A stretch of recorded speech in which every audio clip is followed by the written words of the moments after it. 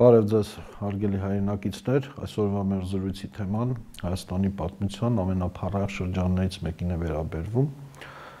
Արտաշեսյանների հարստություն։ Նախորդ մեր զրույցի ժամանակ կանգ առանք այնտեղ, որ Արտաշես անունով մի իշխանի դավաճանության պատճառով կործանվեց Երևանդունիների թակավորությունը։ Արտաշեսը Սելևկյան բանակի օգնությամբ գրավեց Հայաստանը եւ վերացավ հայոց պետություն։ Հայաստանը դարձավ Սելևկյան պետության մի մաս։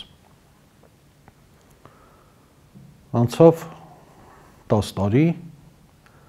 190 թվականին մեր թվարկությունից առաջ համաշխարհային պատմության մեջ մի կարևորագույն իրադարձություն կատարվեց։ Հռոմեական զորքերը առաջին անգամ ոտք դրեցին Ասիա աշխարհամասում բնականաբար սա չէր մտնում Սելևկյան աշխարհակալության ծրագրերի մեջ եւ Սելևկյանները մեծ բանակով փորձեցին ընդդիմանալ Հռոմին։ Սակայն Մագնեսիայի ճակատամարտում հռոմեական բանակը գլխովին ջախջախեց Սելևկյաններին։ Եվ օգտվելով այդ առիթից Արտաշեսը, որ Սելևկյանների կողմից նշանակված էր մեծ հայքի կառավարիչ ստրատեգոս, այսինքն ռազմավարչական կառավարիչ անմիջապես ապստամբում է Սելևկյանների դեմ եւ մեծ հայքը հրճակում անկախ պետություն եւ իրեն հրճակում թակավոր։ Միաժամանակ նրա ազգակից Զարեհը նույնն անում է հայոց արևմտյան կողմում ծոփքում, հրճակելով ծոփքի թակավորությունը։ Այսպիսով Հայաստանում նոր թակավորական դինաստիա է սկիզբ առնում, ճիշտ է։ Արտաշեսն իրեն կոչում էր Երվանդունի, Երվանդական, բայց չի բացառվում, որ սա շատ ավելի турք էր ժամանակի իրավական համակարգին, որովհետև իր գահի նկատմամբ իր հավակնությունները որպիսի կարողանա հիմնավորել, նա պետք է որ արունակցական կապ որոներ նախկին դինաստիայի հետ եւ Արտաշեսը, որ իրեն կոչում են Զարեհի որդի, Երևանդական, գուցե եւ որևիցե ազգակցական կապ չունի Երևանդունիների հետ։ Ինչևէ, արդեն 189 թվականին Արտաշես առաջինը գահ է բարձրանում։ Եվ նա շատ լավ վարչարար էր, զորեղ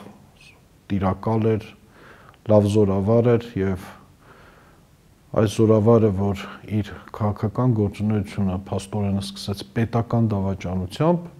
ոչ միայն հիմքն է դնում նոր եւ շատ զորեղ մի դինաստիա, նաեւ ինքն է շատ զորեղ կահակալ։ Արտաշեսն սկսում է հայոց հողերի միավորումից, հայոց բանակը վերակազմավորում է եւ երկրի 4 կողմեր արշավելով վեր, վերամիավորում հայոց հողերը։ Նա կարողացավ ամբողջացնել դարձյալ մեծ հայք, այնպես որ հին-հույն պատմիչ Ստրաբոնը խոսելով Արտաշեսի մասին ասում է, որ նրա երկրում բոլորը հայերեն էին խոսում։ Սա նշանակում է, որ Արտաշեսը միավորել էր իր թագի շուրջ բոլոր հայախոս գավառները։ Նաև վարչական բարեփոխումների ենթարկեց հայոց երկիրը, երկիրը բաժանեց 15 աշխարհների 192 գավառների եւ այդ վարչական բաժանման արդյունքում համայնքների, գավառների, նահանգների արանքում դրեց սահմանակարեր Արտաշեսյան այդ սահմանակարերը հայտնի եւ պատմահայր Մովսես Խորենացին մանրամասը նկարագրում է անգամ Արտաշեսի այդ սահմանակարերը եւ նշում որ նա պատվանդան սարքեց, փորեց, վրան կանգնեցրեց քարակոմ սահմանակարեր եւ անգամ հետագայում նշում է, որ Սասանյան Արտաշիր արքան նմանեցնելով մեր Արտաշես արքային ինքն էլ կանգնեցրեց նման քարեր, որպիսի պատմության մեջից վերացնի հայոց Արտաշես արքայի հիշատակությունը։ Եվ եթե մենք այսօր բազում-բազում կոթողներ ենք տեսնում քարակում կոթողներ անգամ խաչազարթած հետագայում 4-րդ տարից հետո չի բացառվում, որ այդ կոթողներից շատերը հենց լինեն ժամանակին Արտաշես արքայի կողմից կանգնեցված այդ քարակում սահմանակարերը։ Ես բուն դասական այդ սահմանակարերից մի քանի հատ պահպանվել են, մի քանի հատ մեզ են հասել 6 թե 7 հատ, որոնք կարող եք դուք էլ տեսնել պատմության թանգարանում։ Եվ ապա Արտաշես արքան ձեռնամուխ եղավ իր նոր մայրաքաղաքի կառուցմանը, Արտաշատ մայրաքաղաքը։ Արտաշատը հայոց մոտ 3 տասնյակ մայրաքաղաքների մեջ ամենաերկարակյացներից մեկն է եղել մեր թվարկությունից առաջ երկրորդ դարից մինչև 5-րդ դարը շուրջ 700 տարի Արտաշատը կարճատև ընդմիջումներով եղել է Հայաստանի մայրաքաղաքը։ Արտաշատ քաղաքի հատակագծողը եւ ճարտարապետը եղել է հին աշխարհի նշանավոր զորավար Կարթագենի առաջնորդ Հաննիբալ Բարկան, ով պարտվելով Պունիկյան պատերազմում, փախչելով Հռոմից ապաստան էր գտել հենց հայոց Արտաշես արքայի արքունիքում։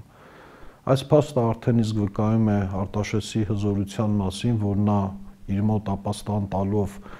Կարթագենի զորավարին բացարձակապես չի վախեցել հռոմեացիների ներկայությունից եւ ուժից եւ դա ուղղակիորեն մարտահրավեր էր Հռոմին, որ գիտենք ընդամենը ոչ վաղ անցյալում ջախջախել էր Սելևկյան տիրակալության Սելևկյան բանակներին։ Հաննիբալը Արտաշես Արտաշատ քաղաքը կառուցել է Սաթենիկ թակուհու աչքի նմանությամբ Սա մեզ հայտնի առաջին քաղաքն է երրաքաղաք համակարգով կառուցած, այսինքն աչքի բիբը գիտեք այդ միջնաբերդը բուն աչքը դա բուն քաղաք կամ Շահաստան, իսկ աչքի թարթիչները արդեն արվարձաններ եւ արտաշատից սկսած հիմնականում պրակտիկայով պրակտիկորեն կիրառվեց հենց երրաքաղաք սիստեմա մոդելը քաղաքաշինության մեջ եւ առաջին դասական օրինակը հենց մեզ հասած արտաշատն էր Արտաշատը շատ արագ բազմամարդ դարձավ, շեն ու ճոխ քաղաք դարձավ եւ աշխարհի ամենամեծ քաղաքներից մեկն էր իր բնակչության թվով, մեծությամբ, ճոխությամբ, զիջելով թերևս միայն Հռոմին եւ Անտիոքին, այսինքն Արտաշատ աշխարհի երրորդ քաղաքն էր իր մեծությամբ եւ հռոմեացիները հենց Արտաշատը կոչում էին հայ, հայկական Կարթագեն, հայոց Կարթագեն, տուր տալով ոչ միայն նրան, որ քաղաքի գլխավոր ճարտարապետը եւ հիմնադիրը փաստացի եղել է Հաննիբալ, այլ նաեւ հռոմեացիները հետագա դարերում Հայաստանը հենց համարում էին իրենց թիվ 1 ախոյան արևելքում, ինչպես որ Հյուսիսային Աֆրիկայում համարում էին Կարթագենը, Կարթագեն պետությունը իրենց ախոյան այնպես էլ Հայաստան արևելքում հենց այդ պատճառով հայոց մայրաքաղաքն ան կոչում էին հայկական Կարթագեն։ Մովսես Խորենացին հետաքրքիր պատում է մեզ հաղորդում Արտաշեսի եւ Սաթենիկի մասին, երբ ալանները հարցակվում են հայոց երկրի հյուսիսային գավառների վրա, Արտաշես արքան քրի ափին ճակատամարտ է տալիս եւ ջախջախում է ալանների զորքին, ապա գերի է բռնում ալանած արքայազնին։ Եվ երբ ալանած արքան խնդրում է Արտաշեսին, որ ազատ արցակի իր որդուն, հայոց արքան մերժում է եւ այն ժամ ասպարեզ է գալիս Ալանաց արքայադուստր Սաթենիկը ով գալիս գետի ափին երգում է եւ երկելով դիմում հայոց արքային ասելով ով քաջը տարտաշես ազատ արցակիր իմ եղբորը որովհետեւ վայել չէ եւ արին գերի է պահում մեկ այլ արի Եվիթը շատ քաղցր անուշիկ ձայն ուներ հայոց թակուհին Արտաշեսն անմիջապես սիրահարվում է ձին հեծնում է, անցնում գետը եւ իր ոսկե օղապարանը գցելով սաթենիկի մեջ գցավացնելով սաթենիկին առևանգում եւ բերում է։ Իդեպ համաշխարհային պատմության մեջ աղջիկ փախցնելու դասական օրինակ է, առաջին օրինակն է եւ որի հետ չի կարող համեմատվել անգամ Տրոյայի հեղինեն, որովհետեւ հեղինեն իր կամքով գնաց։ Իսկ այս ուղղակիորեն պատմության մեջ աղջիկ փախցնելու առաջին դեպքն է նկարագրություն գրավոր դեպքը։ Եվ ապա պատմիչը նկարագրում է Արտաշեսի եւ Սաթենիկի հարսանիքը ասելով, որ այնքան ամեն ինչ ճոխ էր, որ ոսկե անձրև էր տեղում։ Ըստ ամենայնի Մովսես Խորենացին նկարագրում է հայոց հարսանեկան ծեսին հետաքրքիր բաղադրիչը, որ հարսնակույրերը եւ փեսային կերները ազապները կաղում են շարքով, հարսն փեսան պետք է ձեր ձերքի բռնած անցնե շարքի միջով եւ նրանց գլխին ծորեն են լցնում հա ոսկե անձրև է տեղում գուցե հենց էս է նշանակում ասեմ որ սաթենիկ թակուհին հին աշխարհի ամենավավաշոտ թակուհիներից էր եւ ճիշտ է իր ամուսնուն Արտաշեսին ապարգևել է 8 արու զավակ, աղջիկների մասին տեղեկություն չունենք։ Գիտենք, որ ապարգևել է 800 զավակ, ավազավակ, բայց ինչպես պատմահայրը նշում է,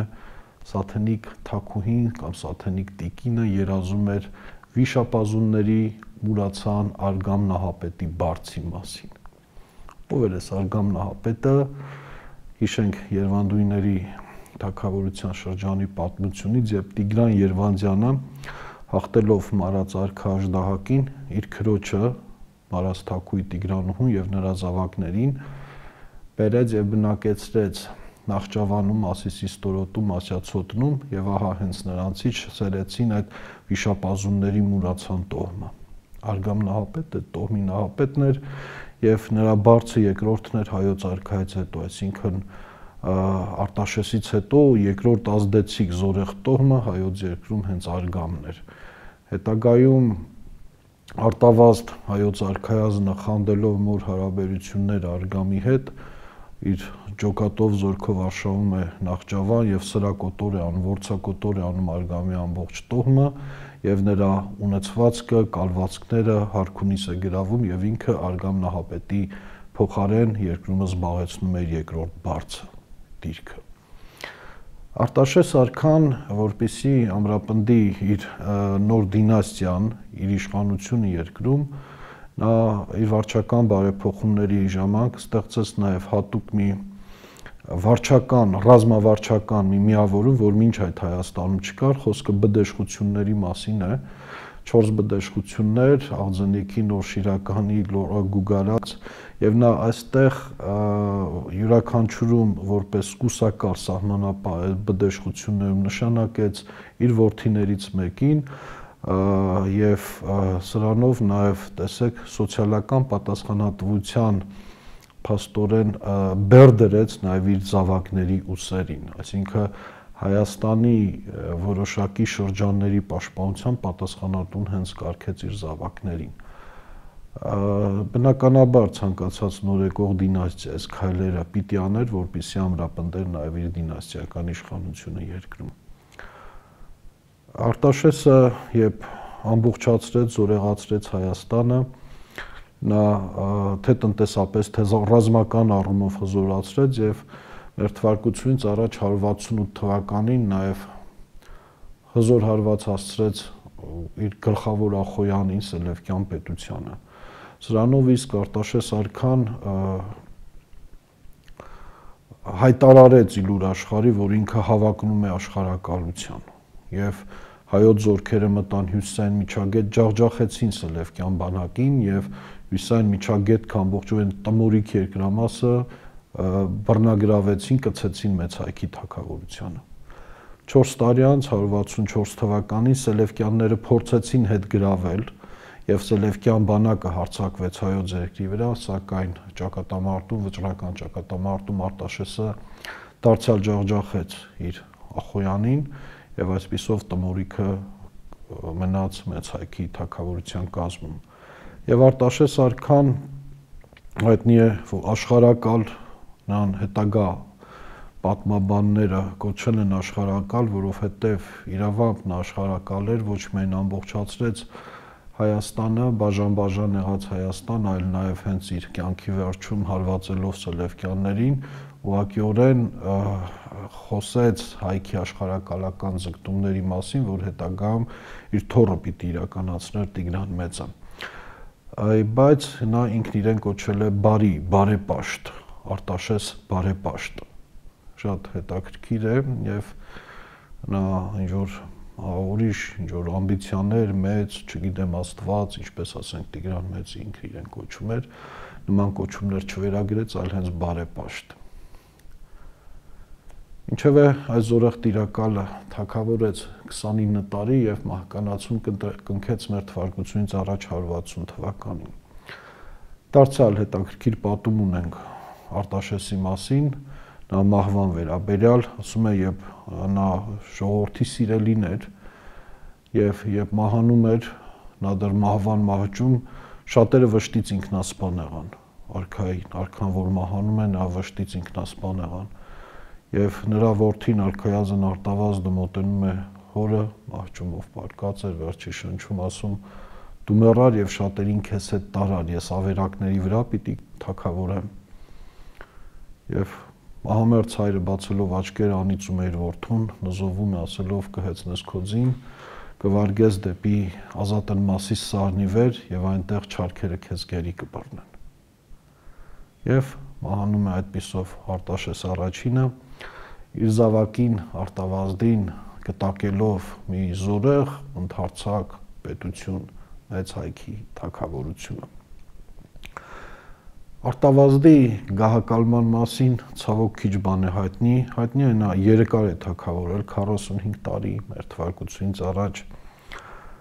160-ից 115 թվականներին եւ նրա ժամանակ էլ Հայաստանը շեն էր, զորեղ էր, զոր էր։ Բայց Արտավազդի մասին միայն էպիկական պատումներ են մեզ հասել, համաձայն որի իսկապես մի օր որսի է դուրս գալիս Արտավազդ արքան եւ ընկնում է մասյաց վիհը չարքերի ձեռքը գերի եւ չարքերը արտավազդին գամում են ժեռին, երկաթե գամերով ամրացնում են ժեռին եւ արտավազդի հավատարիմ շները արալեզները կրծում են այդ շղթաները, որպիսի արտավազդը կարողանա խորտակել շղթաներ եւ դուրս գալ արդար ու արի կարգեր հաստատել երկրի վրա։ Արտավազդ արքան հայտնի էր իր դաժանությամբ, դեռևս նա արքայազն եղած ժամանակ, բայց նա դաժան էր, դաժան լինելով արդարամիտ դաժան էր։ Եվ արտավազդին պետք է համատել, ոչ թե համատել, արտավազդ ուղակիորեն մի հրաստծո էպիկական կերպարն է իր մեջ գրում,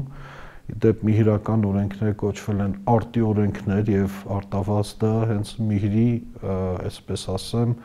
մի հրաստծո կերպարներ երկրի վրա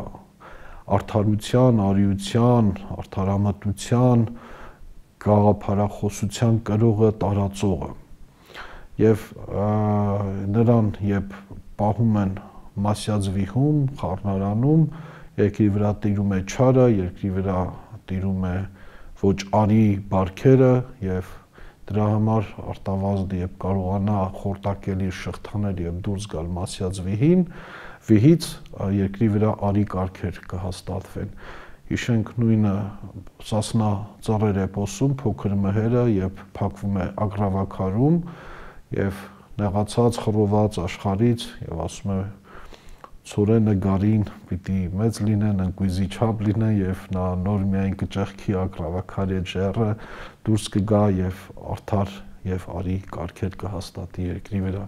թե արտավազդը թե փոքր մհերը մի հրաստու կերպարն են եւ այստեղ իհարկե դժվար է էպիկական պատումը պատմությունից անհազանելը ցավոք սրտի արտավազդի գահակալման մասին մեզ իսկապես շատ քիչ բան է հայտնի Բոլոր դեպքերում նամայից հետո մեր թվարկությունից առաջ 115 թվականին գահանցնում է իր ամենակրծեր եղբորը Տիգրանին, քանի որ արտավազդը ճուներ զավակ, գահն անցավ նրա եղբորը Տիգրան առաջինին։ Տիգրան առաջին գահակալեց 20 տարի 115-ից 95 թվականներին։ Եվ նրա գահակալման շրջանում արդեն Նաև արտավազդի գահակալման վերջին շրջանում արևելքում եւս մեկ հզոր պետություն էր առաջացել, դա Պարթևական թակավորությունն էր, որը հետագան պիտի վերածվեր մի զորեղ աշխարհակալության։ Եվ Պարթևած պետությունը իր հավակնությունն ուներ արևելքում եւ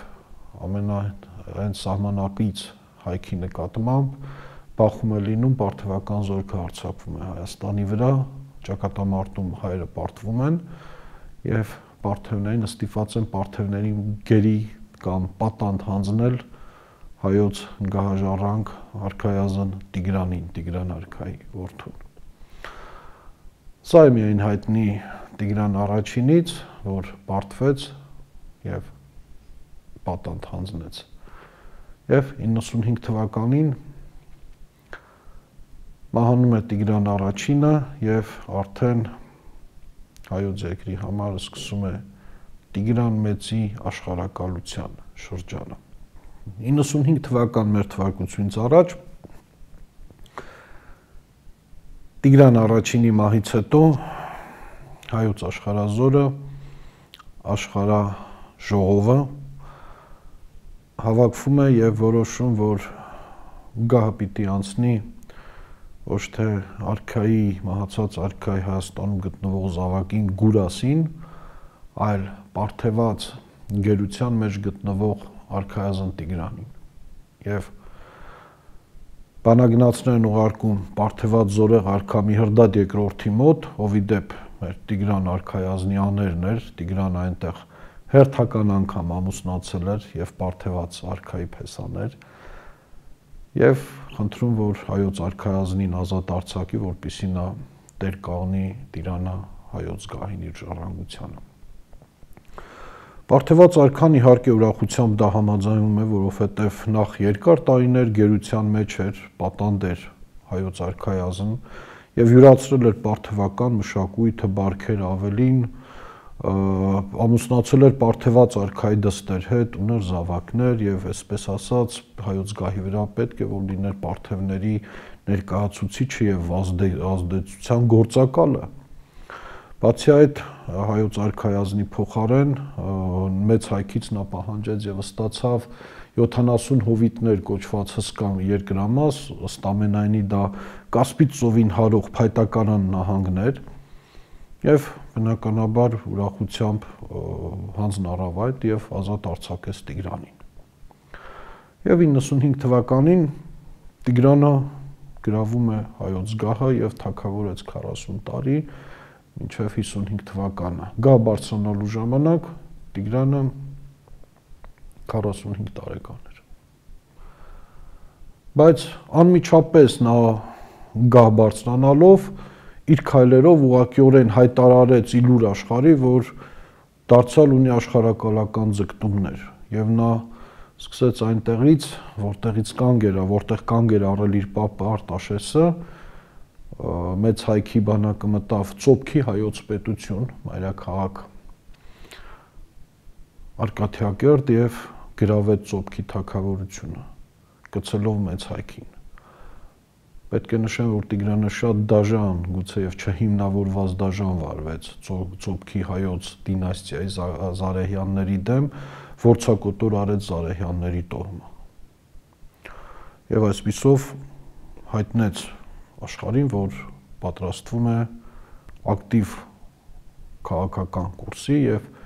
մեծ հայքը այլևս ունի աշխարհակալական ձգտումներ։ Այս ժամանակաշրջանում հետաքրքիր էր ուժերի հարաբերությունը արևելքում, առաջավոր Ասիայում։ Արևմտյան կողմից հռոմեական պետություններ, Հռոմի հանրապետություններ եւ իր հավակնություններով, իր աշխարհակալական ձգտումներով դեռևս ուժեղ եւ կանգուն էր Սելևկյան պետությունը Ասորիքում Եգիպտոսում Պտղոմյանների թակավորություններ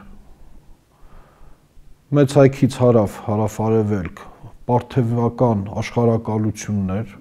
որ ձգվում էր, ասենք, ներկայիս Պարսկաստանի տարածքից մինչև Միջին Ասիայի խորքերը եւ Հնդկաստան, Հայաստանից հյուսիս-արևմուտք, ամբողջ մինչև Բոսվոր եւ ներառյալ Ղրիմը Պոնտոսի թակավորություններ։ Այսինքն այսպես բազմաբևեռ աշխարհ էր եւ ուժերի հարաբերությունը դեռևս այստեղ հայտնի չէր։ Ձեզ կպատմեմ փոքրինչ Պոնտոսի թակավորության մասին, որովհետև Տիգրանյան Հայաստանը անհնար է պատկերացնել առանց Պոնտոսի թակավորության եւ առանց Միհրդադ եւ Պատորի, առանց Միհրդադ Պոնտացում։ Հին աշխարհի հին աշխարհի զորեղ այս տիրակալը ծնվել է մեր թվարկությունից առաջ 122 թվականին ասեմ, որ հետաքրքիր, ունիկալ, հանճարեղ մարդ էր, նախ շատ ուժեղ հիշողության տեր, տասնյակ լեզուների էր տիրապետում։ Իր 100 հազարանոց բանակի զինվորների բոլորին դեմքով ճանաչում էր, գիտեր ոչ միայն անուններ, այլ հետաքրքիր մանրամասներ նրանց կյանքից։ Եվ Միրդատ Պոնտացին, որ Զավակն էր Միհրդադ 5-րդ արքա, ինքը Միհրդադ 6-րդն էր։ Իդեպ ծնվել էր սրբազան ամուսնության արդյունքում, այսինքն իր ծնողները միաժամանակ քույր ու եղբայր էին։ 11 տարեկանում գահ է բարձրանում հոր Միհրդատ 5-րդի մահից հետո։ Սակայն մայրը չէր սիրում իր զավակին եւ որոշում է սպանել 11 տարեկան պատանուն, որպիսի գահը փոխանցի մյուս որդուն եւ թունավորում է Միհրդատին։ Միհրդատը մազի մահից հազիվ է բարձնում եւ փախուստի է դիմում Պոնտոսից գալիս է փոքր հայք։ Այստեղ նրան գրկաբաց են ընդունում փոքր հայքում հասակ առավ, մարզվեց, կոփվեց, նա քանի որ ամբողջ կյանքում վախենում էր թույներից, փոքր այսպես բաժիններով այնքան թույներ էր ընդունել, որ ամենամեծ թույնի, ամենա թույնի ամենախիտ չափաբաժին անգամ նրան այլևս չէր ազդում։ Եվ տարիներ անց արդեն Միհրդատ Պոնտացին վերադառնում է իր երկիր եւ գրավում իր գահը։ Գահը գրավելով մահապատժի է ենթարկում իր մորը եւ եղբորը եւ փառահեղ թաղում կազմակերպում նրանց համար, ապա ինքն ամուսնանում իր քրոջ հետ եւ գահ բարձրանում։ Կոչվում է դա սրբազան ամուսնություն եւ արևելքի շատ երկրներում դա տարածված էր։ Գահ է բարձրանում, բայց երբեք իր ճանապարհը այդպես հեշտ չէր, բայց նրան հեշտ ճանապարհ չէր վիճարկված եւ լուր է հասնում Միհրդատին, որ իր քույրը, այսինքն արդեն կինը, իր երեք սիրեկանների հետ դավ է նյութել եւ ուզում է թունավորելով սպանել Միհրդատին։ Միհրդատը անվրդով, անխռով գնում է ներկայանում այդ հացկերույթին, ընտրիքին, առանց դեմքը միմիկան անգամ շարժելու, այսպես անվրդով ուտում է թույնի իր մասնաբաժինը եւ ասում ես կերա հիմա հերթը ձերն է եւ ստիպում է 4-ին որ ուտեն այդ նույն թունավոր ուտեստը եւ 4-ն է մահանում է բնականաբար եւ Մերդատ իր կյանքի ընթացքում ամուսնացավ 9 անգամ 10-ից ավելի զավակներ է ունեցել եւ նա ողերիմ ճշնամին էր հռոմի Միրդատը երթվել էր որ պիտի խորտակի կործանի հռոմը եւ նա իր այդ հավակնությունները իրականացնելու կյանքի կոչելու համար դաշնակիցներ էր որոնում եւ երբ 94 թվականին Տիգրան հայոց արքան այդպես նվաճեց ծոպքը եւ միացրեց մեծ հայքի թակավորությանը հասկանալով Տիգրանի հավակնությունը մի հրդատն ինքը դաշինք առաջարկեց հայոց արքային Եվ նույն 94 թվականին կնքվում է հայ-պոնտական դաշինքը։ Կողմերը նախ միմյանց միջև բաժանում են ապագա նվաճումների տարածքները։ Արևմուտքը անցնում էր Միհրդատ Պոնտացուն, հարավը եւ հարավ-արևմուտքը հայոց երկրին։ Ռազմական փոխօգնության դաշինք են կնքում եւ այդ դաշինք համրապնդելու համար Միհրդատի 16-ամյա դուստր Կլեոպատրան ամուսնանում է հայոց արքայի Տիգրանի հետ Սա Տիգրանի մեզ հայտնի երրորդ կինն էր։ Նա ուներ հարեմ, մեծաթիվ հարեմ, բայց քանի կին ուներ հայտնի չի, բայց գոնե 3-ի մասին գիտենք, հայուհին առաջի կինը, երկրորդ կինը, որ Պարթեված արքայադուստերն էր եւ երրորդը Կլեոպատրան, որ Պոնտոսի արքայադուստերն էր։ Եվ այսպիսով կնքվում է դաշինք հայպոնտական եւ դաշինքի համաձայն հաջորդ տարին 93 թվականին հայոց բանակը ներխուժում է Գամիրք Կապադովկիա Տիգրանը մի հարվածով գրավում է այս երկիրը, հռոմեական դրածո թակավորին վտարում է այնտեղից եւ պայմանագրի համաձայն արևմտյան այդ երկիրը հանձնում է իր աներոջը Միհրդատին, բայց ամբողջ անշարժ գույքա ավարի է ենթարկում տեղափոխում մեծակ, ինչպես նաև մոտ 300.000 գերիներ, հույներ, հрьяաներ բերում է Հայաստան։ Իդեպ այս գերիների մասին, ճակերտավոր գերիների։ Տիգրան ամենևին սրան չստրկացրեց։ Տիգրանը ոչ թե բերեց այս ռազմագերի կամ որպես ստրուկներ ծառայեցրեց սրանց, այլ որպես պատվավոր քաղաքացիներ բնակեցրեց հայոց քաղաքներում։ Իրականում ճիշտ էր Տիգրանի աները Պարթեված մի հրդատ արքան իր հավակնություններով եւ մտածում էր, որ Տիգրանը յուրացրել է Պարթևական բարքեր, ինչպես ցույց են տալիս Տիգրանի հետագա գործողությունները,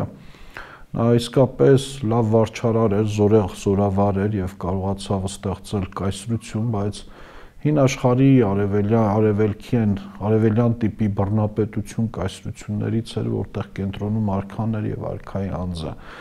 Եվ անվանել Տիգրանյան Հայաստան ազգային պետություն դժվար է։ Այլապես նա ուղակի գիտեք այդ 300.000 հոգուն Հայաստան կստրկացներ, բայց բերեց արտոնյալ պայմաններում բնակեցնում է հայոց քաղաքներում եւ բացարձակապես Տիգրանի համար կարևոր չէր օրինակ իր շրջապատը, ովքեր էր, ինչ ազգություններ։ Տեսեք նա 94 թվականին երբ գրավեց Ծոփքի թակավորությունը ուղղակիորեն սրակոտոր արեց արքայատոհմը, բայց մյուս կողմից երբ հետագա նվաճումների ժամանակ շատ բարեգութ ու բարեսուրը սիրտեր օտար տիրակալների օտար արքաների նկատմամբ։ Եվ այստեղ պիտի ասել, որ պատմիչը Խորենացին նշում է, որ բացի այս 300.000 օտարներից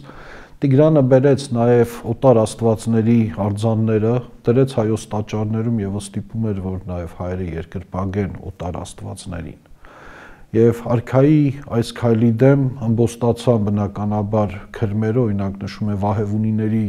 քրմական տոհմի ապստամբության մասին, որին Տիգրան դաժանորեն ճնշում է եւ սրակոտոր է անում նաև Վահևունիներին։ Այսինքն մենք հանձինս Տիգրանի կայսրության, աշխարհակալության տեսնում ենք ոչ թե ազգային պետություն, այլ արևելյան տիպի մի բռնապետություն, որտեղ ազգային ուղակի երկրորդ պլան է մղված եւ առաջնայինը պետական ինստիտուտն է եւ բուն արքայի անձը։ Էլ նաեւ ավելորդ չես իմաստով նշել, որ հետագամ Տիգրանը նաեւ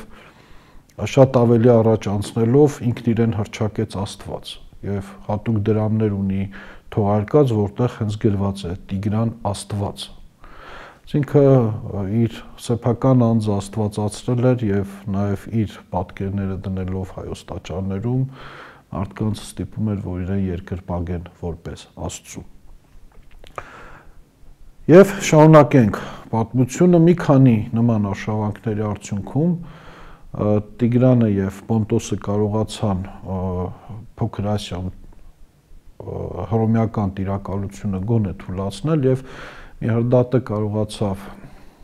ամբողջ փոքր Ասիան նվաճել, անգամ պոնտական զորքով մտնել ներխուժել Բալկաններ եւ այսպիսով Հռոմի արևելյան կամպանիան քաղաքականությունը փոշիացրեց։ 87 թվականին մեր թվարկությունից առաջ մահանում է Պարթեված արքա Միհրդադ II-ը Տիգրան Մեծի առաջին աները եւ եւ նա նաեւ նույն տարին հայոց երկրակամարում երևաց Հալեի գիսավորը Սա համարելով բարենպաստ նշան Տիգրանը հայոց զորքը առաջնորդեց Պարթևստանի վրա։ Նա ջախջախեց Պարթևական բանակը, գրավեց մայրաքաղաք Էկբատանը եւ հրկիզեց, հիմնահատակ ավերեց եւ հրկիզեց։ Սա հոգեբանական լուրջ ազդեցություն թողեց Պարթևների վրա, որ նրանք արդեն ուղղակիորեն դադարեցրին դիմադրությունը, հպատակվեցին հայոց երկրին։ Փաստորեն անմիջապես Հայաստան դարձավ աշխարհակալություն Պարթևները ոչ միայն պարտավորվեցին արտաքին քաղաքական կուրսը համաձայնեցնեն հայոց արքայի հետ, Տիգրանին զիջեցին արքայից արքատիտղոսը, նաև հին աշխարհի համակարգում, քանի որ իմ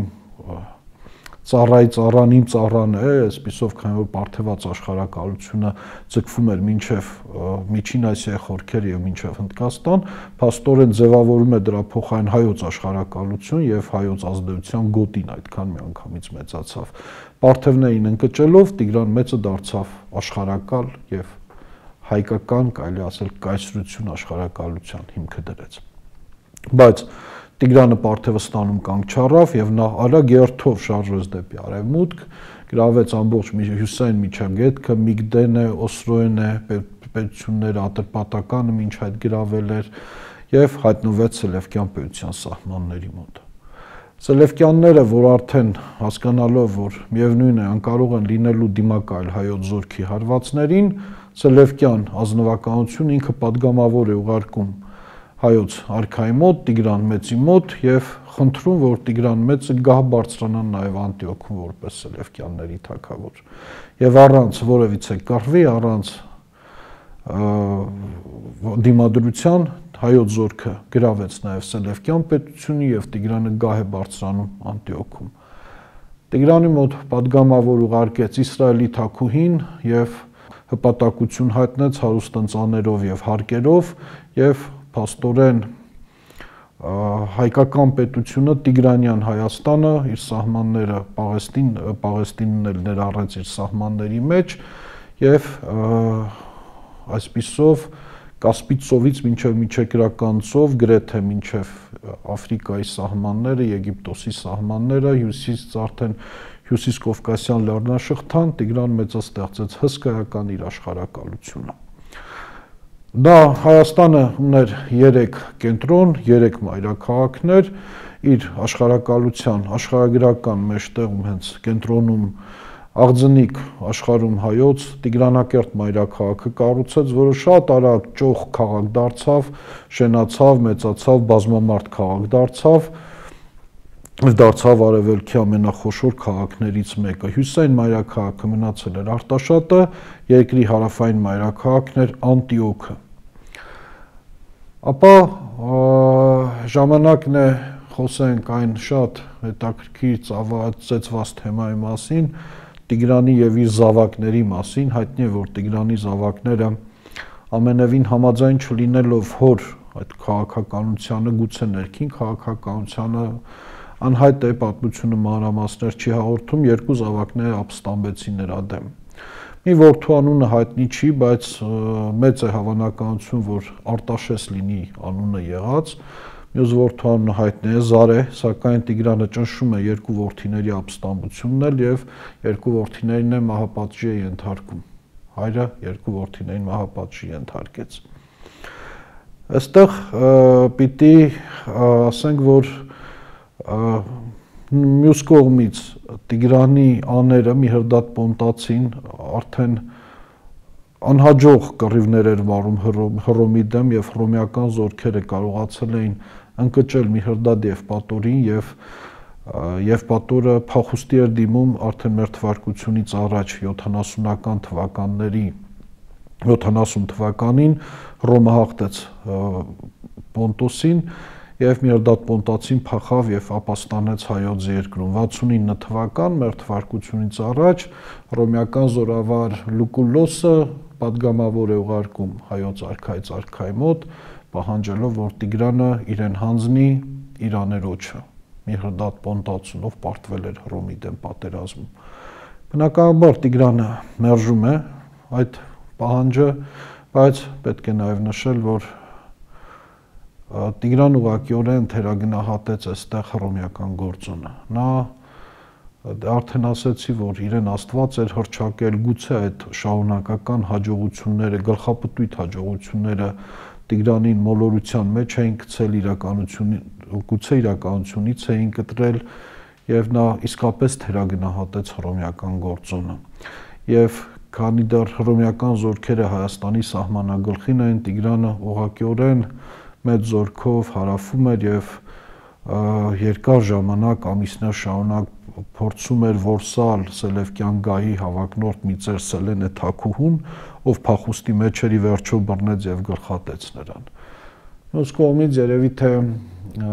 պետք էր որ Տիգրանը, քանի դեռ պոնտական թակավոր Միհրդատը մակարում էր Հռոմի դեմ, իր զորքով ներխուժեր նաև Եգիպտոս, աֆրիկյան մայրցամաք, որովհետև Եգիպտոսը համ Հռոմի դաշնակիցն էր, բացի այդ Եգիպտոսը Հռոմի գլխավոր մատակարարն էր հացի, հացամթերքի, սննդամթերքի եւ Եգիպտոս ներխուժելով երևի թե հայոց արքան մեծ աջակցություն կցուցաբերեր իր դաշնակցին եւ աներոջը Միրդադ եւ Պատորին։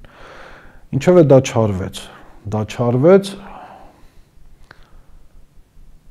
եւ 69 թվականին մեր թվարկությունից առաջ անակնկալ կերպով առանց պատերազմ հայտարարելու հռոմեական զորքը ներխուժեց Հայաստան։ Իհարկե առիթը այն էր, որ Տիգրանը մերժել է հանձնել Հռոմի ճշնամի Միհրդատին եւ հռոմեական զորքը մոտ 80-ից 100 հազարանոց զորք տարբեր պատմիչներ, տարբեր թիվ են նշում։ Տիգրանը Հռոմի դեմ ուղարկեց Զարեհ զորավարին, ընդամենը 6000-անոց գնդով։ Բնականաբար հռոմեացիների համար մեծ դժվարություն չէր։ ջախջախել այդ 6000-ից գունդը եւ անմիջապես ռոմեական զորքը հայտնվում է Տիգրանակերտ մայրաքաղաքի պարիսպների տակ եւ պաշարում է մայրաքաղաքը։ Մայրաքաղաքը կայազորը հերոսաբար դիմադրում է Ռոմին։ Այն ամիսներ անց հայոց արքան մեծ զորքով հայտնվեց Տիգրանակերտի մոտ։ Բնականաբար քաղաքը ցնծության մեջ է, արքայից արքան, արևելքի տիրակալը եկել է ժամանել է եւ հիմա կփոշիացնի ռոմեական զորքերին։ Ինչ արեց Տիգրանը, նա այստեղ նախ մի գեղեցիկ դաս տվեց իսկապես, դաս, որը արժանի է համաշխարհային ռազմարվեստի պատմության գրքերում գրվելու, ընդամենը 6000-ից գնդով ճեղքեց ռոմեացիների շղթան, քաղաք պաշարած ռոմեացիների շղթան եւ մտավ քաղաք։ Այսինքն հետախուզական մարտի դասական օրինակ ցույց տվեց բայց քաղաքի քաղաքացիների ցնծությունը երկար չտևեց, որովհետեւ Տիգրանը ընդամենը հավաքելով իր գանձերը եւ հարեմը, քան դեռ ռոմեացիները ուշքի չէին եկել, դարձյալ բացեց քաղաքի դարպասները եւ դարձյալ ճեղքելով ռոմեացիների շղթան, քաղաքից անեց թե իր գանձերը, թե հարեմը։ Սա իհարկե որպես հետախուզական մարդ փառահեղ օրինակ է, բայց հոգեբանոյն հոգեբանական առումով կարծում եմ սխալ էր։ Սխալ էր քաղաքից հանել թե գանձերը, թե հարեմը, սա արդեն իսկ պարտվողական տրամադրություն է տարածում մայրաքաղաքի բնակիչների մեջ։ 69 թվականի հոկտեմբերի 6-ին Տիգրանակերտի մատույցներում եղավ խոշոր ճակատամարտ։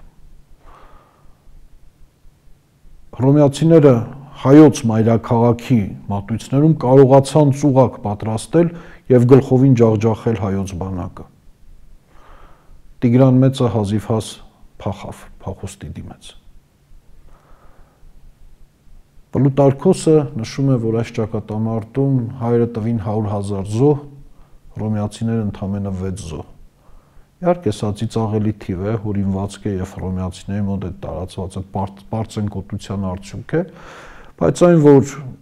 իսկապես հայոց բանակը գլխովին ջախջախվել է, դա կասկած չի հարուցում։ Մանավանդ որ երկար ժամանակ այլևս Տիգրանը չփորձեց Հռոմի հետ բաց ճակատի, բաց ճակատամարտի մտնել։ Գուցե նաև դրան այդ խորհուրդը տվեց Իրաները Միհրդատ Պոնտացին, ով քաց ծանոթ էր հռոմեական զորքերին, մարտավարությանը, Հռոմի հետ պատերազմ վարելու փորձառություն ուներ եւ ամբողջ մի քանի ամիս Տիգրանը փոքր ջոկատներով ուղղակիորեն մաշեց հռոմեացիներին։ Եվ երբ գառնան արդեն մայիսին Լուկուլոսը փորձեց անցնել Արածանին, անցնել Հյուսիս եւ հայոց միջնաշխարը գravel, արդեն Տիգրանը ստիպված էր վճռական ճակատամարտ տալ։ Եվ Արածանի ափին տված ճակատամարտում հայկական բանակը հաղթում է։ Հաղթում է եւ Լուկուլոսը ստիպված է փախուստի դիմել։ Բայց ըստեղ Տիգրան մեծը կատարում է իր հերթական սխալը։ Նա չի հետապնդում ճշնամուն։ Չհետապնդելով հնարավորություն տվեց, որ Լուկուլոս ուշքի գա, թեքվի հարավ, Պաշարի եւ գրավի հայոց միջագետքի, հյուսային միջագետքի վարչական կենտրոնը Մծբին քաղաքը եւ իր հետ գերի տանի Տիգրան մեծի եղբորը Գուրասին, արքա եղբայր Գուրասին եւ իր հետ տանի հռոմ։ Այսպիսով հայոց արքայից արքայի եղբայրը գերին կավ ռոմեացիների ձեռքը եւ որպես գերիալ անցավ Լուկուլոսի հաղթահանդեսով։ Բայց հայոց երկրում, ասպես ասած, ջրերը չհանդարտվեցին։ Հիմա Տիգրանի դեմ հիմա Տիգրանի վարած քաղաքականության դեմ ապստամբեց մյուս ворթին Տիգրան անունով Տիգրան կրծսերը ով նա գնաց Պարթևաց արքայի մոտ փորձեց Պարթևաց զորքով տիրանալ գահին, բայց չկարողացավ։ Տիգրանը ճնշեց եւ ահա Տիգրան կրծեր արքայազն Տիգրանը հայտնվեց արևելք արշաված հռոմեացի զորավար Գնեոս Պոմպեոսի մոտ։ Պոմպեոսը Հռոմի ամենափառահեղ, ամենազորեղ զորավարներից էր, ոչ այդ նա միջեկրական ծովն էր կարողացել ազատել ծովահեններից եւ օտար ռազմածովային ուժերից, ապա Հռոմի սենատից առաջադրանք ստացել լուծել արևելքի խնդիրները։ Եվ Պոմպեոսը մեծ զորքով մտնում է Հայաստան։ Տիգրանն այլևս անկարող էր դիմագրավել, դիմակայել Հռոմին եւ առանց ոյցե ճակատամարտ տալու հռոմեական զորքը հայտնվում է Արտաշատ մայրաքաղաքի պարիսպների տակ, որտեղ էր նաեւ Տիգրան մեծը եւ իր արքունիքում, արքունիքով։ Տիգրանը չհամարցակվեց դիմակայել Պոմպեոսին եւ ինչպես հռոմեական աղբյուրներ նշում են, մի օր միայնակ դուրս գալով մայրաքաղաքից գնում է հռոմեացիների ճամբար, մոտենում Պոմպեոսի վրանին, թագը հանում գլխից եւ դնում Պոմպեոսի ոտքերի տակ։ Ահա այսպես ամփառունակ սրանով ավարտվում է բնականաբար հայոց աշխարհակալությունը, որ երկու տասնամյակ էլ չտևեց։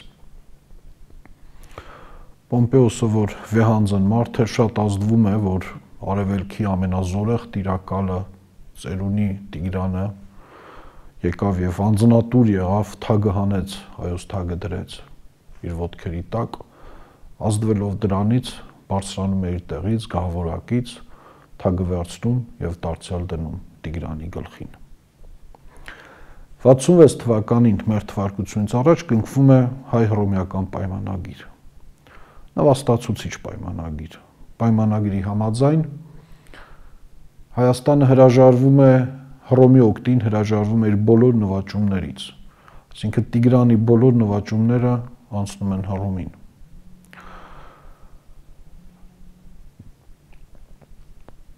Ապա Հայաստանի արտաքին քաղաքական կուրսը էապես կախման մեջ է ընկնում Հռոմից Հայաստանը Հայաստանից մեծ հայքից անջատվում է միայն ծոփքը, եւ այնտեղ պիտի թակավորել Տիգրան մեծի կրծեր որդին Աբստամ Տիգրան կրծերը Հայաստանը պիտի Հռոմին վճարեր հսկայական ռազմատուգանք եւ Հայաստանը հրճակվում էր հռոմեական ժողովրդի դաշնակից եւ բարեկամ իրական այդ տերմինը ծաղր է, որովհետև հռոմեական ժողովրդի դաշնակից եւ բարեկամ լինել նշանակում է լինել հռոմեական ժողովրդի եւ Հռոմի պետության կամ հակատարը։ Այս դեպքում դեռևս Հռոմի հանրապետության կնքվում է պայմանագիրը եւ մի կետը միայն գործածությունից հանվեց ծոփքի մասը, որովհետեւ Տիգրանը ժլատություն անելով Հռոմիաց ռազմատուգանքը որոշեց վճարել ծոփքի գանձարանից։ Իսկ ծոփքը հանձնված էր իր որդուն Տիգրան կրծերին եւ նա այնտեղ պիտի թակավորեր։ Եվ երբ ըմբոստացավ որդին հորդեն, որ քո փողերով վճարի ռազմատուգանքը ոչ թե իմ, դեպքում արդեն նրան ձերբակալեց Պոմպեոսը, որ արդեն պետք չէր Տիգրան կրծերը նաև Հռոմին եւ իր հետ շղթայակապ տարավ Հռոմ։ Այսպիսով բացի Տիգրան մեծի եղբորից նաև կրծեր որդին Հռոմում հռոմեական զորքի հետ հաղթահանդեսով անցավ որպես գերի։ Հետագայում Տիգրանի մահից հետո Տիգրան կրծերը փորձում է փախչել Հռոմից եւ գալ մեծ հայք տեր լինել, տեր կանգնել հայոց գահին, գրավել հայոց գահը, բայց սպանվում է Հուլիոս Կեսարի հրամանով։ Դրանից հետո Տիգրանը գահակալեց եւս 10 տարի եւ մահացավ 55 թվականին մեր թվարկությունից առաջ, գահը հանձնելով իր որդուն Արտավաստ երկրորդին, ով գահակալել է 55-ից 34 թվականներին։ Տիգրան մեծը գաղակալեց եւս 10 տարի, մահացավ 55 թվականին մեր թվարկությունից առաջ։ Մի հետաքրքիր փաստ աշխարհում ամենաշատ օպերաները գրվել են Տիգրան մեծի մասին։ 30-ից ավել օպերաներ են գրվել նրա մասին եւ եւս տասնյակ օպերաներ, որտեղ ինքը երկրորդ դերակատարություն ունի, այսինքն նվիրված են այդ օպերաները Մերդադ եւ Պատորին, որտեղ Տիգրանը կարևոր դերերից մեկն է տանում։ Ինք աշխարհում չկա եւս մեկ պատմական գործիչ, որի մասին այդքան օպերաներ լինեն գրված։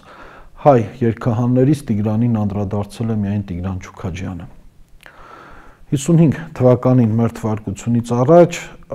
հայոց գահ է բարձրանում Տիգրան մեծի որդին Արտավաստ երկրորդը։ Փառահեղ մի տիրակալ իսկապես հայոց գահին, հիդեպ հին աշխարհի ամենաուսյալ այրերից մեկը եւ հռոմեացի պատմիչներն էլ նշում են, որ Արտավազդը անգամ թատեր թատերագիր էր եւ ստեղծագործում էր եւ բավականին ստեղծագործություններ է գրել, սակայն ցավոք սրտի որևէ բան մեզ չի հասել, բացի այդ հիշատակությունը, որ նա ստեղծագործում էր։ Եվ արդեն մեր թվարկությունից առաջ 54 թվականին նոր էր արտավազդը գահ բարձրացել, նա ստիպված էր պատերազմել Պարթևաց երկրի դեմ։ Լարվածություն հայոց եւ Պարթևաց միջև, եւ իթե Պարթևները, որ դարձյալ հզորացել էին, փորձում էին հայերից հետ առնել, հետ վերցնել արքայից արքատիտղոսը։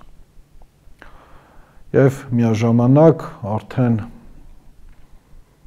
արևելքում իր մեծ արշավանքն է սկսում Մարկոս Գրասոսը, Հռոմի երապետ, Հռոմի ամենահարուստ մարդը, ով մինչ այդ իրեն փառավորել էր ճնշելով Սպարտակի ապստամբությունը։ Կրասոսը հայտնվում է արևելքում եւ Արտավազդը 66 թվականի պայմանագրի համաձայն պետք է օգներ Հռոմին։ Եվ հայոց արքայից արքան Արտավազդ II-ը 48000 զորքով գնում է Անտիոք, այցելում Կրասոսին։ Ծանոթանում է Կրասոսի ծրագրերին, որ նա պատրաստվում է հյուսային միջագետքի անապատներով հարցակվել Պարթևների վրա Արտավազդը հասկանում է ծրագրի կործանարար լինելը, քանի որ Հյուսային միջագետքում պարթևական թեթև սպառազեն հեծելազոր ուղղակիորեն կփոշիացներ հռոմեական լեգիոններին։ Եվ նա Կրասոսին առաջարկում է բացարձակ այլ ծրագիր։ Առաջարկում է, որ հռոմեացիների զորքը մտնի Հայաստան, միանա հայոց բանակին եւ ատրպատականի վրայով լեռներով հարվածեն պարթևներին միասին եւ այս դեպքում հայոց ցաներ հեծելազորը բնականաբար կջախջախեր պարթևների հեծելազորին, որոնք լեռնային պայմաններում անկարող կլինեին մանևրել եւ մարդ վարել։ Սակայն Կրասոսը, որ գորոզ մարդ էր, մերժում է Արտավազդի պլանը, ռազմական պլանը։ Եվ Արտավազդը հասկանալով պատերազմի արդյունք ելքը ինչ է լինելու, բնականաբար չցանկանալով ինքնասպան լինել, հետ է քաշվում իր զորքով, չի միանում հռոմեացիներին եւ գալիս Հայաստան եւ անմիջապես դաշինք է առաջարկում Պարթևներին։ Սրանով իսկ ոչ միայն խախտում է Արտաշատի պայմանագիրը, այլև բացեբաց ուղղակիորեն պատերազմ է հայտարարում նաեւ դրանով Հռոմին։ Պարթևները ընդունում են դաշինքը եւ հայ պարթևական դաշինքը ամրապնդելու համար արտավազդի քույրը Տիգրան Մեծի դուստրը ամուսնանում է Պարթևաց արքայազն Բակուրի հետ։ Իսկ մինչ այդ Կրասոսը իր արշավանքը շարունակում է։ Ինչ է լինում Կրասոսի արշավանքի հետ, բայց մի պահ գանք Արտաշատ մայրաքաղաք, որտեղ հարսանիք հայոց արքայադուստրը ամուսնանում է Պարթևաց արքայազնի հետ, սա ռազմական դաշինք է եւ հարսանիք է։ Հարսանիքից հետո հայ եւ Պարթև ազնվականությունը միասին գնում են Արտաշատի թատրոն, որտեղ բեմադրվում է Եվրիպիդեսի Բաքոսուհիներ պիեսը։ Այստեղ մի հետաքրքիր պահ կա, որ դերասանը պիտի պարկից հանի ինչ որ մեկի խրտվիլակի գլուխը բնականաբար եւ սյուժեի մեջ այսպիսի բան կար, ով դու չգիտեմ ով, ասենք ցանկանում է իր ամբողջ աշխարհը քոնը լինի ոտնատակ տաս, բայց քո գլուխն է ոնց որ գլխից դες զրկվում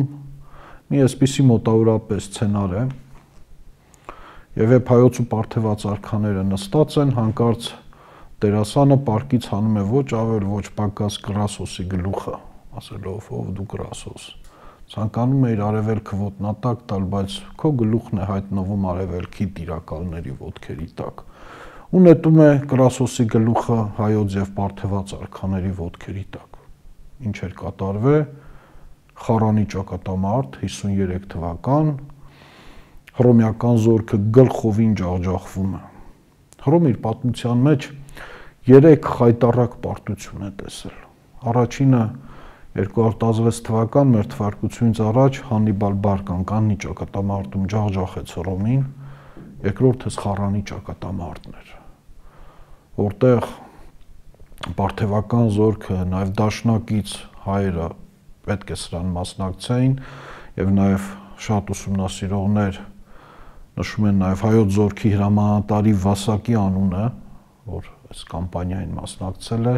ջախջախում են Հռոմին եւ Ուղակի սա Հռոմի խայտարակություններ տասնյակ հազարավոր զոհեր տվեց Հռոմը եւ Կրասոսը ինքը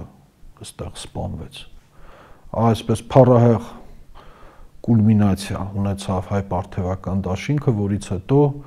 արդեն Արտավազդը եւ իր խնամի դաշնակից պարթևները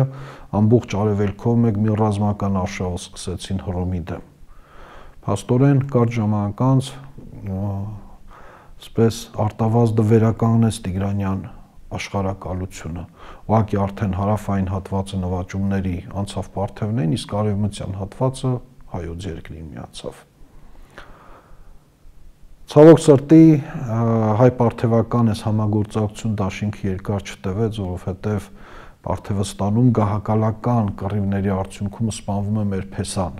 արքայի հայոց արքայի Փեսան Բակուրը։ Եվ հայ-պարթևական հարաբերությունները կրկին լարվում են։ Եվ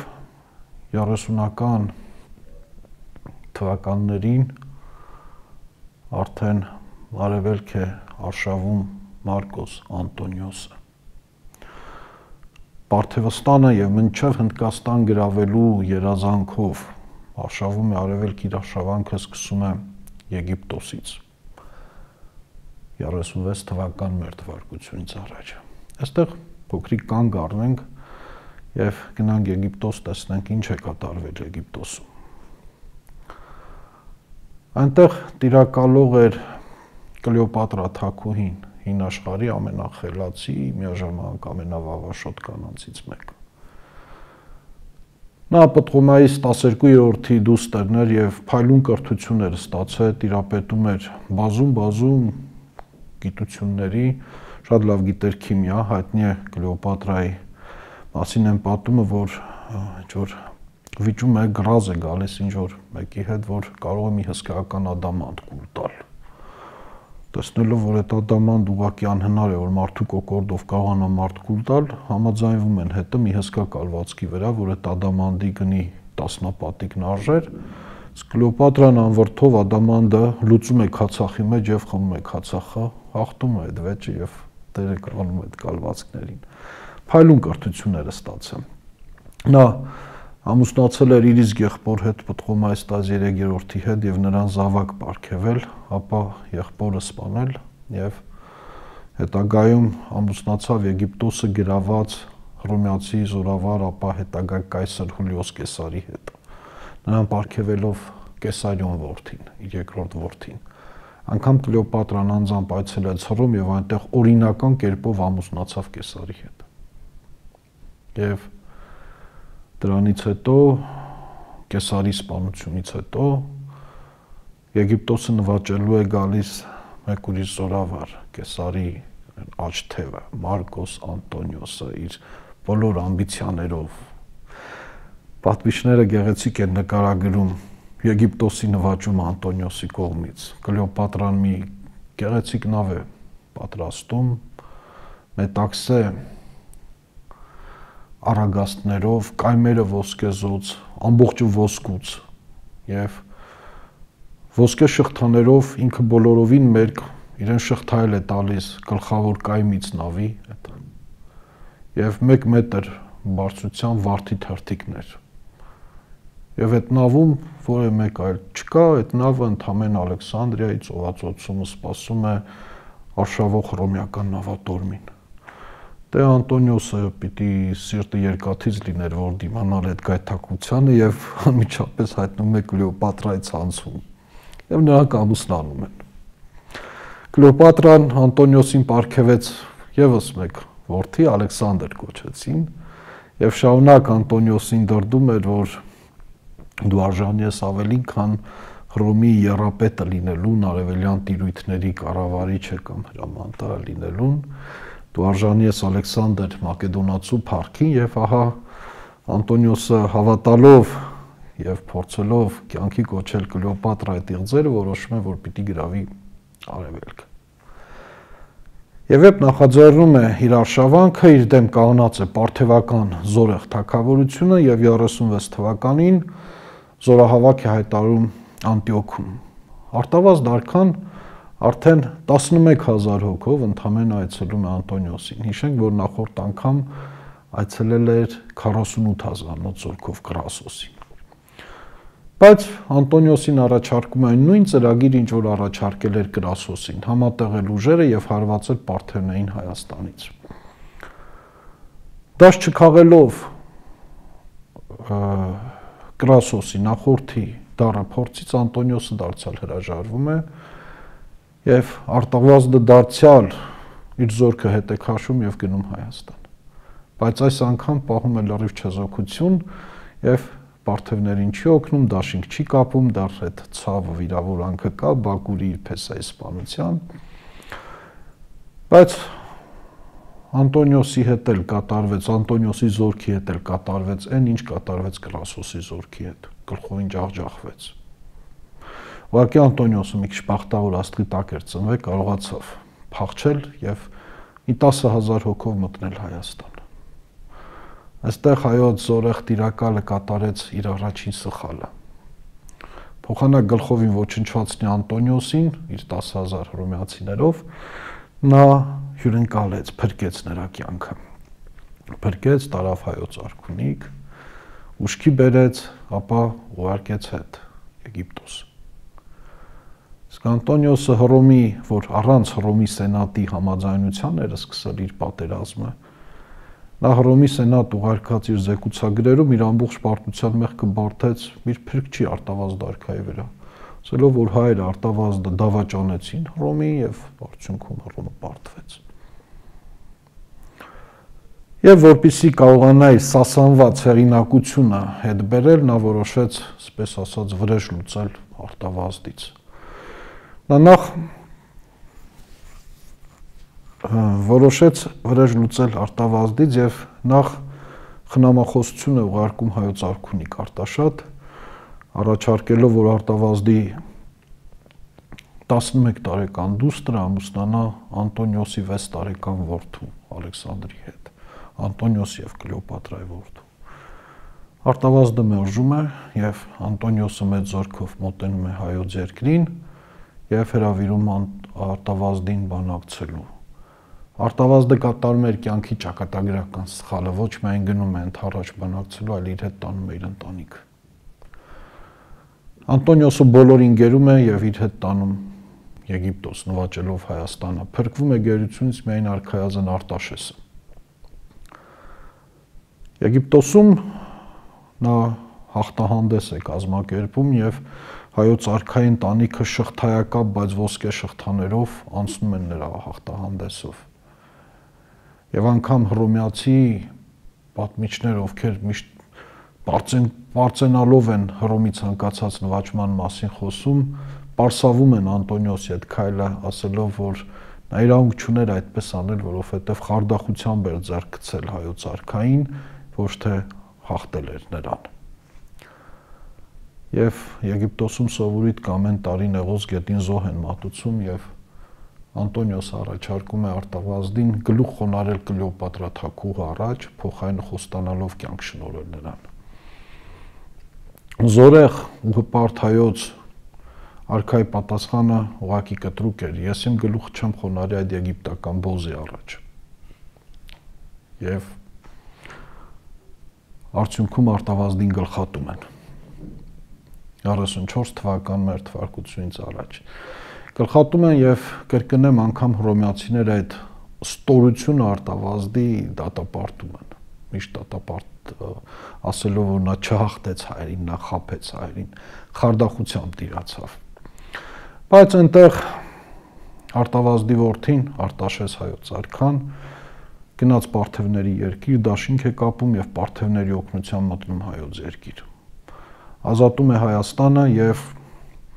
Գերի է բռնում 30000 հռոմեացիների եւ հոր վրեժը լուծելու համար մեկ օրվա մեջ գլխատել է տալիս բոլոր 30000-ին եւ գլուխներ ուղարկում Հռոմ որպես նվեր։ Ինք արտավազդ իհարկե 31 թվականին ակցիումի ճակատամարտում գիտենք պարտվում է Օկտավիանոսից եւ ինքնասպան եղավ Կլեոպատրայի հետ, բայց հայ-հռոմեական հարաբերությունները խիստ լարված էին։ Երիտասարդ ու զորեղ քաջ Արտաշես երկրորդը Հռոմի ճշնամին պես աչուձա խարվածներ էր հասցնում Հռոմին, սրակոտոր անում հռոմեացիներին եւ պատրաստվում էր դարձյալ վերականգնել հայոց աշխարհակալությունը եւ խորտակել Հռոմի արևելյան տիրույթները։ Հռոմը հասկանալով, որ անկարող է լինելու դիմակայել Արտաշեսին, դիմում է նենգության բարձու մարդասպանների ձեռքով հայոց մայրաքաղաքում սպանվում է Արտաշես երկրորդի երիտասարդ արքան 20 թվականին մեր թվարկությունից առաջ։ Արտաշեսը զավակ չուներ, երևի թե չէր էլ հասցրել ամուսնանալ, եւ որպես հայոց գահի տեխնացու հռոմեացիները Հայաստան են ուղարկում Արտաշեսի եղբորը սպանված արտավազդ երկրորդ արքայի գերված ընտանիքից հաջորդին Տիգրանին, Տիգրան երրորդը թվում է թե Հռոմի դերածուն է հայոց գահին, բայց Տիգրանը գահ բարձրանալով Հայաստանում անմիջապես հայտարարում է իր անկախության մասին եւ իր քաղաքականության մեջ անգամ ճշնամանքով էր Հռոմի ճշնամին էր եւ հռոմեացի պատմիչները նշում են, որ այդ ժամանակ աշխարհում Հռոմից հետո երկրորդ զորեղ պետությունը Տիգրան III-ի Հայաստանն էր, այսինքն անգամ Պարթևստանից շատ ավելի զորեղ ու ազդեցիկ էր եւ Տիգրան III-ն իր հոր եւ պապի նման կրում էր արքայից արքատիտղոս, այսինքն Պարթևները հարգատու էին Տիգրանին եւ Պարթևները ընդունում էին Հայաստանի գերագահությունը։ Թագավորելը մինչև 8 թվականը 20-ից մինչև 8 թվականը եւ նրա մահից հետո գահը անցնում է նրա զավակին Տիգրան 4-ին, ով գահ է բարձրանում իր քրոջ հետ Էրատու Թաքու հետ։ Իրականում նրանք ամուսիններ չէին, նրանք քույր ու եղբայր են, բայց գոնե մեկ աղբյուր չկա, որ ասվի թե նրանք ամուսիններ են։ Հայաստանում արյունապղծություն չի եղել երբեք նախաքրիստոնեական շրջանում քրիստոնեություն ընդունելուց հետո հрьяաների մոտ տարածված շատ բարքեր եկեղեցու հետ մեկտեղ ներմուծեցին Հայաստան, բայց նախաքրիստոնեական շրջանում մենք ունենք գոնե մեկ դեպք արյունապղծության եւ հայտնիա որ Տիգրան 4-ը եւ Էրատոն քույր ու եղբայր են, բայց չկա գոնե մեկ աղբյուր, որը փաստի նաեւ նրանց ամուսին լինելը։ Ուղղակի քանի որ Տիգրան 4-ը չուներ զավակ, ժառանգ, Գուցե տոհմի այդ հարատևությունը հաջորդականություն գահի վրա ապահովելու համար հենց քույր երատոներ գահ բարձրացել։ Եվ Տիգրան 4-րդն էլ Հռոմին ճշնամի էր եւ անկախ քաղաքականություն էր վարում, սակայն սա Հռոմի պլանների մեջ չէր մտնում եւ հռոմեացիները կարողացան գրավել Հայաստանը, գահանկեցանել Տիգրան 4-րդին եւ Վերատոն եւ գահ հանձնել Արտավազդ երկրորդի մյուս որդուն գերության մեջ գտնվող Արտավազդ երրորդին 6 թվականին։ Սա իսկապես որ հասակ էր առել Հռոմում փոքր էր երևի ինչ որ ծծկեր մանուկ էր որ գերվել է եւ հասակ է առել Հռոմում եւ մոռացել էր նաեւ հայերենը, հայերեն բարքերը եւ հռոմեական բարքերով էր առաջնորդվում բնականաբար նրան չէր կարող հանդուրժել հայոց ավականին եւ արտավազդ երրորդը միայն 2 տարի գահի վրա մնաց հայոց աշխարհա ժողովը հավաքվում է գահանկեց է հայտարարում արտավազդին եւ գահը դարձյալ հանձնում է Տիգրան 4-ին Տիգրան 4-ը փառեղ դիրակալ էր նաեւ լավ զորավար եւ նրա օրոք Հյուսային Կովկասից, ներկայիս Ռուսաստանի տարածքից քոչվոր վաճկատուն ցեղեր էին մտել Հայաստան ասպատակել եւ Տիգրան 4-րդը նրանց հակահարված հասցնելու համար հայոց զորքով անգամ անցավ Կովկասյան լեռնաշղթան եւ հայտնվեց ներկայիս Ռուսաստանի տարածքում պատժիչ արշավանք ձեռնարկեց Հյուսիսային Կովկաս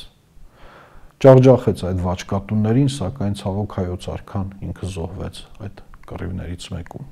եւ գահն անցավ նրա քրոջ հերատոթակուն բայց